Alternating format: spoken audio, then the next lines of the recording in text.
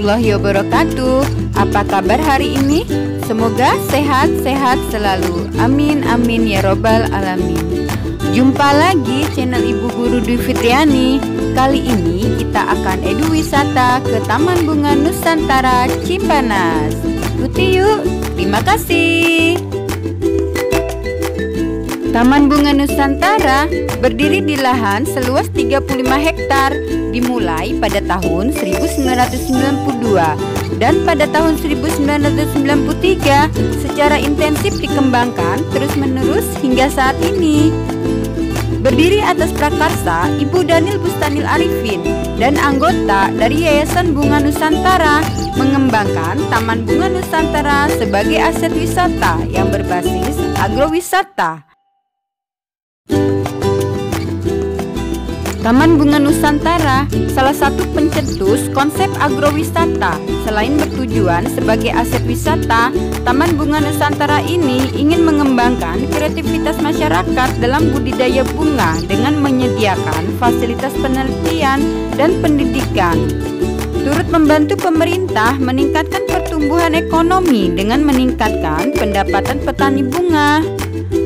Taman Bunga Nusantara berperan serta melestarikan tanaman langka baik dari Indonesia maupun luar negeri, menumbuhkan kecintaan masyarakat terhadap tumbuhan khususnya bunga, menyediakan tempat rekreasi yang sehat dan nyaman.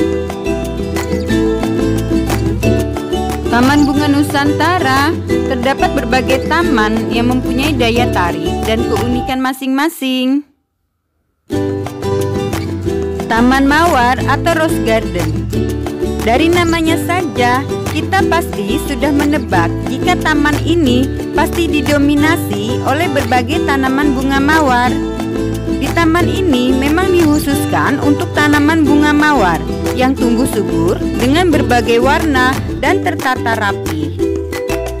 Tanaman yang berasal dari Cina ini terkenal hingga berbagai negara karena keunikan dan aromanya yang khas. Banyak yang tertarik membudidayakan tanaman ini karena tahan terhadap segala kondisi cuaca dan dapat beradaptasi dengan empat iklim sekaligus. Jangan salah, walaupun terbukti tanaman ini tahan dengan segala kondisi iklim, tetap saja bunga mawar membutuhkan yang namanya penyiraman, pemberian pupuk, dan penyiangan dengan kalkulasi yang tepat agar keindahan tetap bunga terjaga. Taman Prancis Di taman ini, kita akan disuguhkan taman dengan gaya Prancis mengedepankan kerapihan, keserasian, dan juga keseimbangan bentuk. Di sini kita akan melihat tanaman perdu Taiwan Beauty yang ditata rapi dan dipangkas sedemikian rupa hingga membentuk suatu bingkai dengan bunga berwarna-warni tepat di tengahnya. Jenis tanaman ini tidak terlalu penting pada konsep taman Prancis. Taman ini hanya mengutamakan sebuah pola yang dikombinasikan dengan bunga-bunga.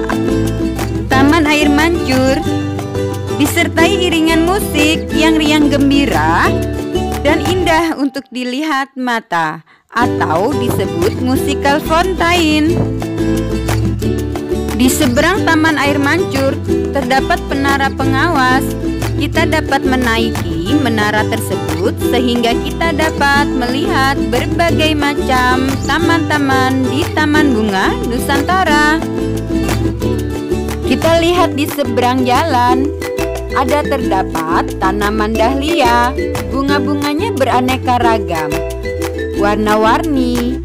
Dahlia adalah tanaman perdu berumbi yang sifatnya tahunan atau perennial berbunga di musim panas sampai musim gugur. Dahlia adalah bunga nasional dari negara Meksiko yang juga merupakan negara asal dari bunga ini. Ikuti perjalanan mobil sampai ia berhenti. Setelah itu, kita akan berjalan kaki menuju bunga dahlia yang berwarna-warni. Jika kita mau sholat, terdapat musola yang dapat digunakan. Dan kanan kiri terdapat bunga, salah satunya anggrek yang terdapat di atas dahan-dahan pohon dan beberapa spot yang dapat kita gunakan untuk berfoto-foto bersama teman-teman.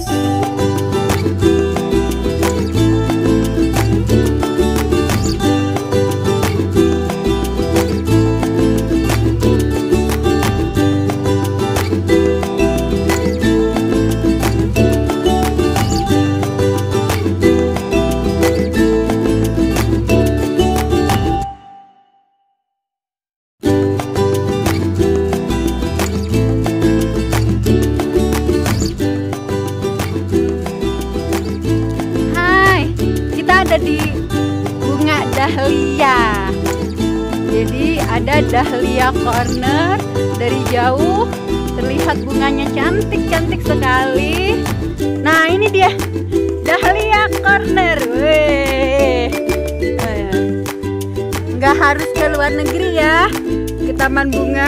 Nah ini pensi duh mer apa sih? Merah-merah hati. Nah ini dia. Dahlia ya Allah Masya Allah. Masya Allah. Ini warna orange. Dahlia warna orange.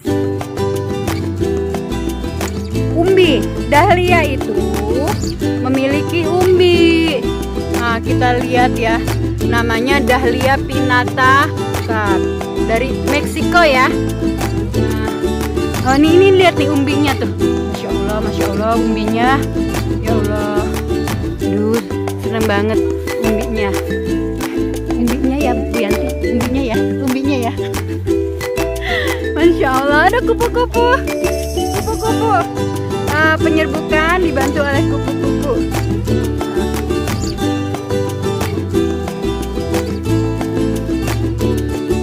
Daun dahlia. Keren ya. Suka banget deh. Dengan rumah ada taman dahlianya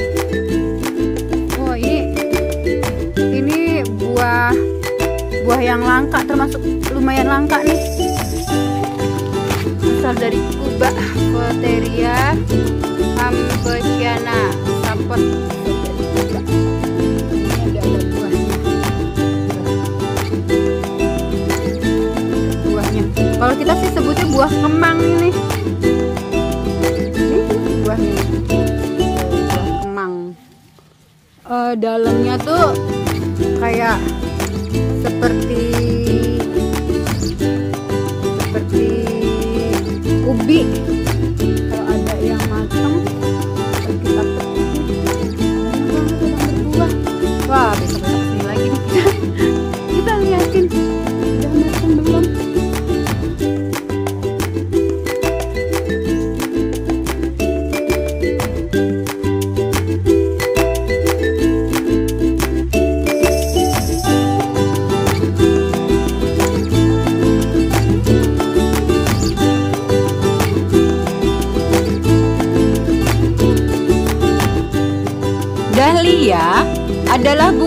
nasional yang berasal dari Meksiko yang juga merupakan negara asal dari bunga ini. Dahlia termasuk bunga yang terlambat dikembangkan. Pada tahun 1872, negeri Belanda menerima sekotak umbi dahlia yang dikirim dari Meksiko. Dari kotak umbi ini, bunga dahlia ternyata hanya satu umbi yang berhasil berbunga namun menghasilkan bunga yang berwarna merah dengan daun bunga yang runcing. Ahli tanaman berhasil mengembangbiakan dahlia yang kemudian dinamakan Dahlia juarezzi. Dahlia juarezzi merupakan nenek moyang semua bunga dahlia hibrida atau persilangan yang terdapat sekarang ini. Bunga dahlia adalah makanan larva beberapa spesies Lepidoptera, jenis kupu-kupu. Bunga dahlia dinamakan untuk menghormati ahli botani berkebangsaan Swedia dari abad ke-18 yang bernama Anders Dahl. Dahlia juga merupakan bunga resmi kota Seattle, negara bagian Washington, Amerika Serikat.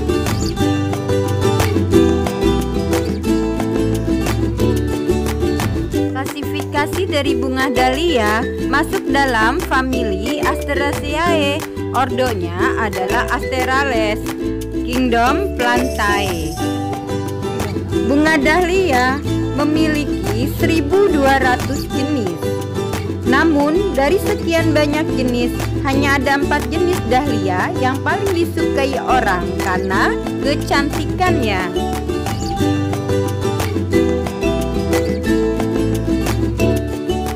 Pasti sangat menyenangkan bukan? Jika rumah kita dihiasi dengan bunga-bunga yang indah Seperti bunga dahlia ini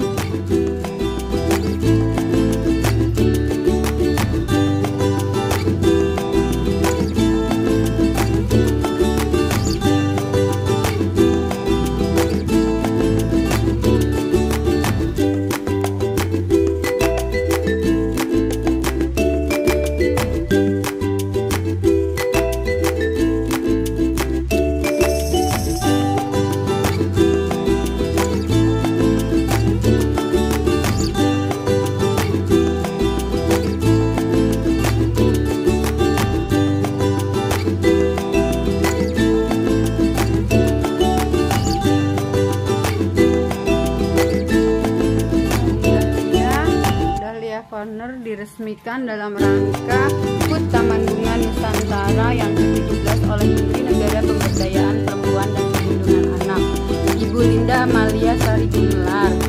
Panas 12 September 2020 Ya, yuk ikuti yuk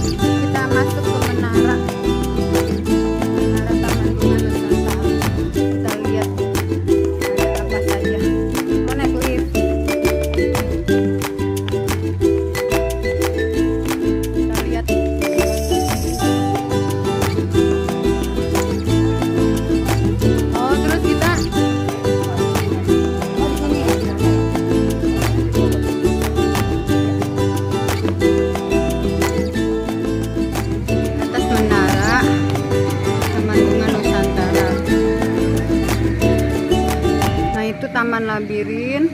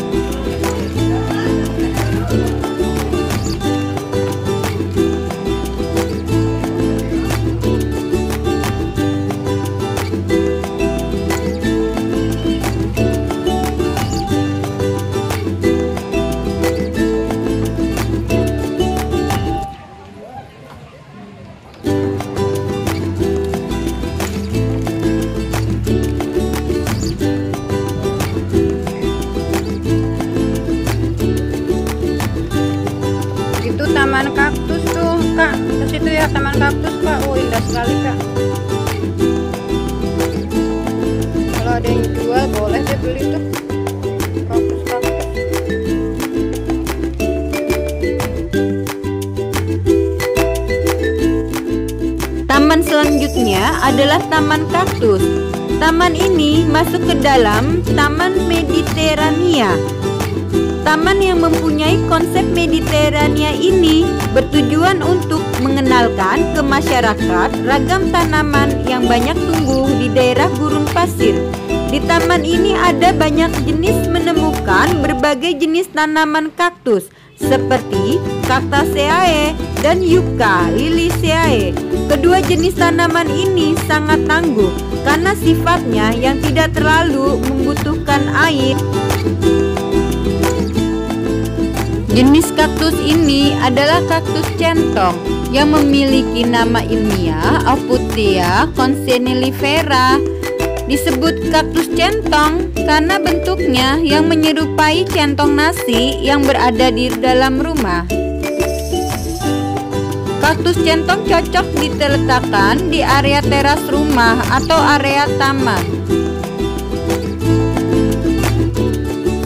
Di luar negeri, kasus centong banyak dibudidayakan dan diambil buahnya untuk dikonsumsi yang banyak manfaatnya. Buah kaktus dapat dikupas luarnya yang dimakan mentah atau dimasak untuk membuat jelly dan permen.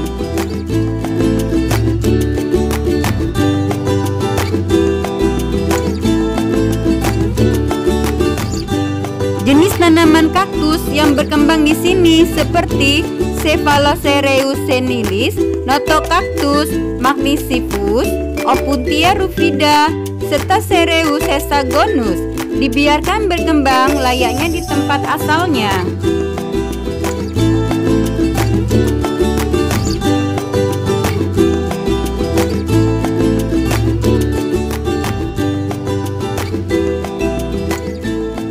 Taman selanjutnya, kita menuju ke Taman Bali. Taman Bali merupakan sebuah dedikasi bagi Bali yang namanya telah terkenal di dunia internasional sebagai destinasi wisata. Tak heran di taman ini kita akan menjumpai bangunan-bangunan yang bentuknya khas bangunan yang sering kita jumpai di Bali. Mulai dari bangunan patung, gapura, pintu masuk, balai bengong, dan balai kulkul bisa kita jumpai di Taman Bali.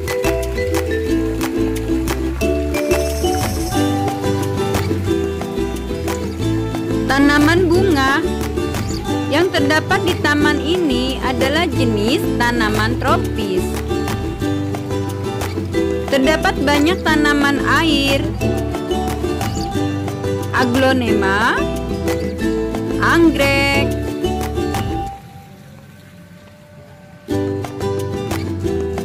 Kamboja, helekonia, kembang sepatu, dan lain-lain.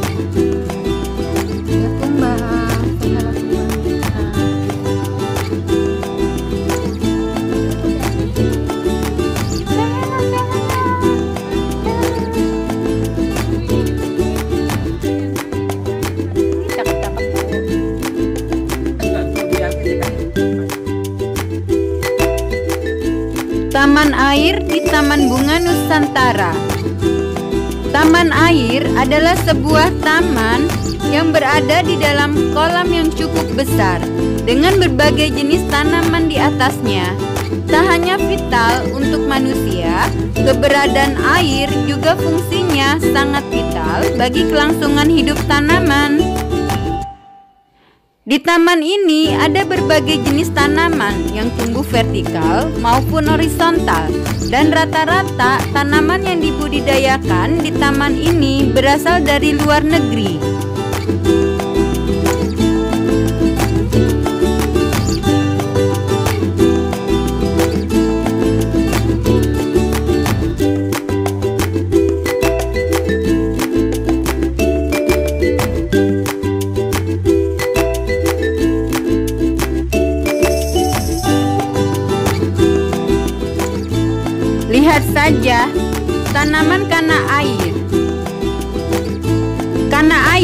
Atau Thalia delbata.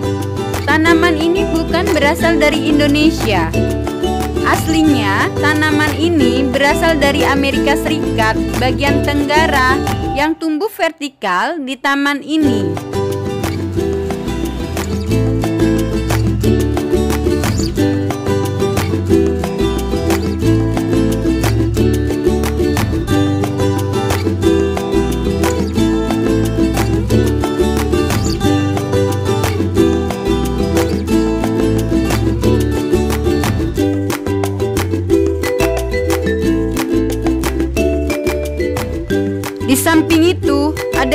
Tanaman Siferus papyrus dari Mesir yang bunganya cukup unik karena menyerupai rambut menjuntai.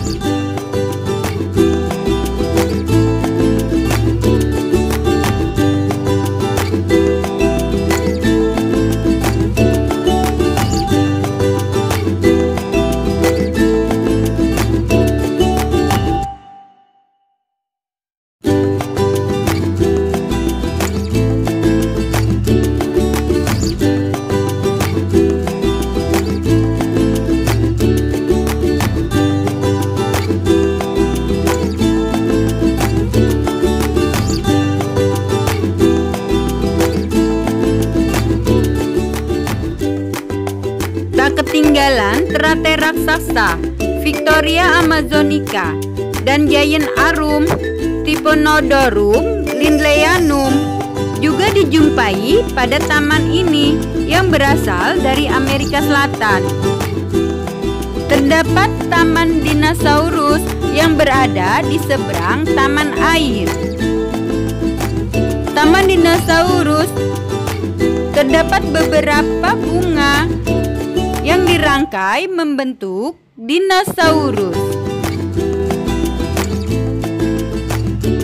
Taman Palem Jika kita sedang mencari suasana sejuk dan rindang, pastinya harus mengunjungi Taman Palem ini. Karena di taman ini tumbuh dengan subur pohon palem dengan berbagai ukuran, mulai dari yang kecil hingga yang besar.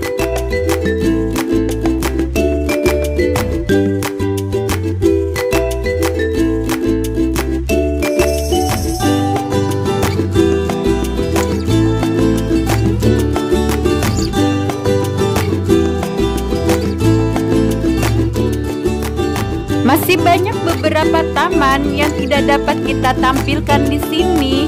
Di antaranya adalah Taman Amerika, Taman Jepang, dan Taman Begonia.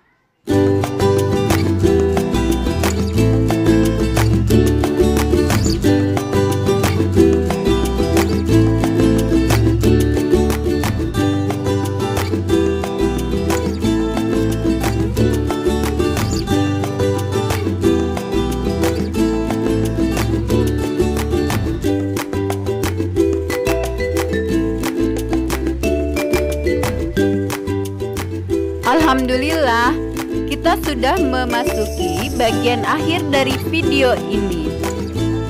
Asik ya? Berwisata di saat masa pandemi ke Taman Bunga Nusantara, Cipanas, Jawa Barat.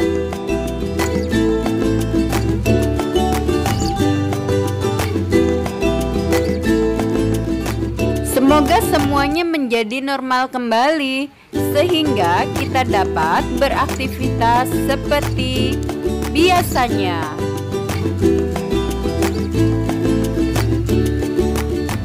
Selalu menjaga kesehatan di mana pun kalian berada, memakai masker, menjaga jarak, dan selalu menjaga kebersihan di mana pun kalian berada.